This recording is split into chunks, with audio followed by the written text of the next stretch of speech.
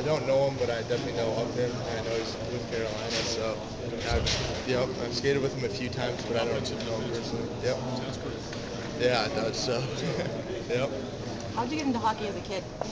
Um, well, parents playing? my no, but my mom started having me skate when I was three years old. And I have an older brother who's 22. He's five years older than me, or four or five years older. And uh, it's just I kind of grew up kind of watching him and everything. So he played. yeah, he played, and so I started actually playing like hockey when I was six years old, and kind of just because I watched him all the time, and he kind of got me into it.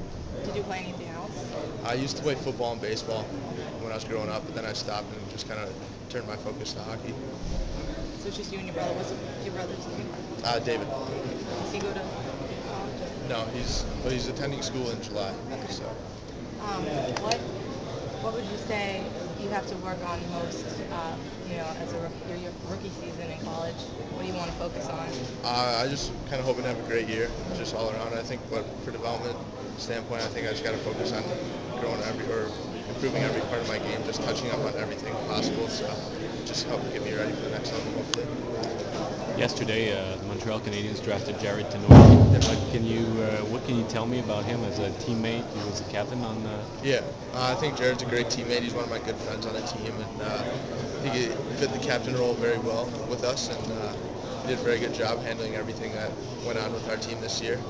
And uh, from a player standpoint, I think he's a very good player too. I mean, he's pretty big, and he'll stand up for his teammates at all times. when you say that he fits as a captain, what do you mean by that? Like fit, I th- just think he fit the role perfectly. He handled all the situations with coaches, and players, kept us all pretty close and tight knit as a group. So I think he did a very good job.